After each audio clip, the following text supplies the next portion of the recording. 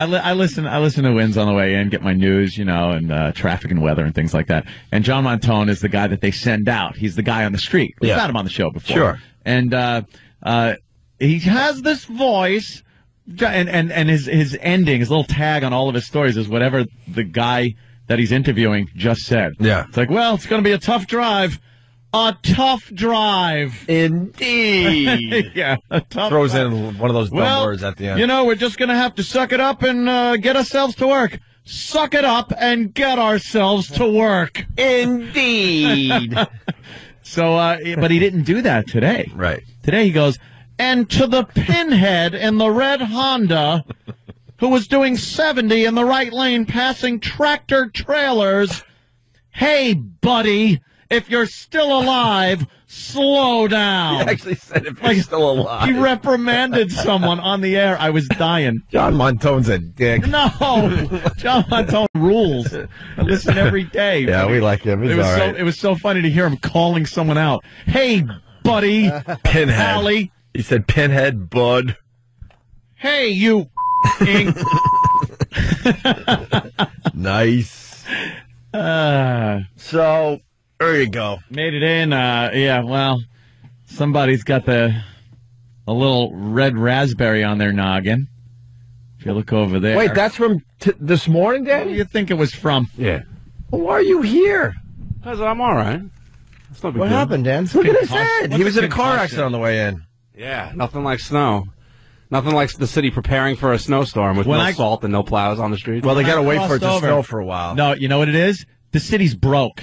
Everyone's broke. It used to be there would be Sanders and plows out when the first flurry came down, when everybody was, you know, doing well. Yeah. Now I hit that uh uh the uh New York City line Mm-hmm. on the expressway. They might as well have just drawn it with someone's foot in, in the snow because it was that obvious.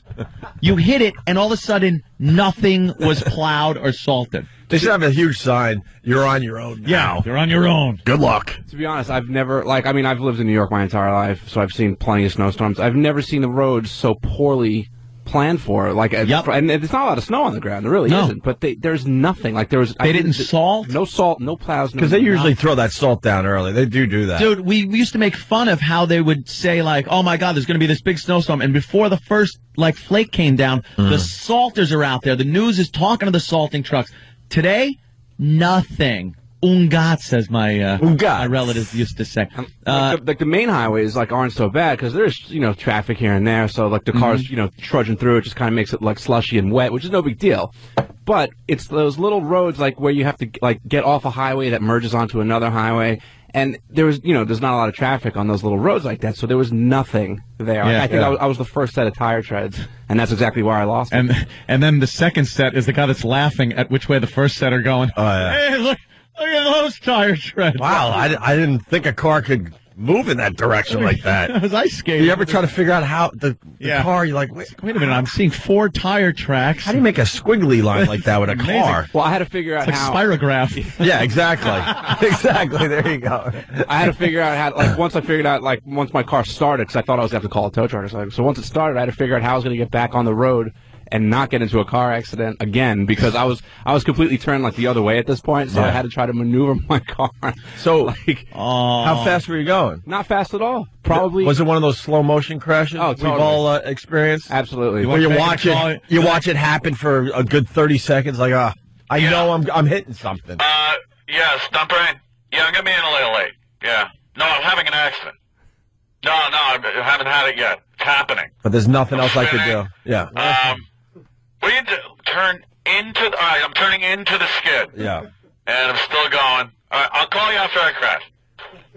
It- It's one of those situations where there's nothing else you could do. You just got to wait for the impact. That's exactly what it was too. That you know? sucks. Like I was, I was on the highway, maybe doing like 40, 45. Like I was taking it nice and easy, and then like you know I get off to uh, uh, to get onto that like little service road sort of of the LIE, and uh, right as I get off because there was you know no plows, no nothing. So right as I got off, just started skidding Mm-hmm. immediately, and it's slow. Like I said, so I was only doing so now I'm slowing down from 40.